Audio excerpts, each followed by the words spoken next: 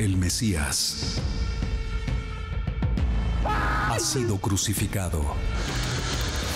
Está muerto, pero nosotros no. En manos de sus discípulos, su palabra y enseñanzas seguirán vivas.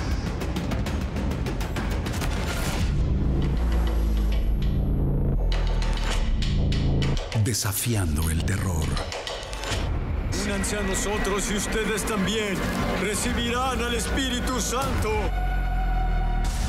Están acusados de continuar enseñando el nombre de un falso profeta.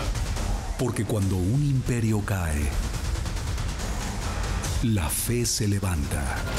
DC, la Biblia continúa. Lunes 15 al sábado 20, a partir de las 11 pm este 8 Pacífico.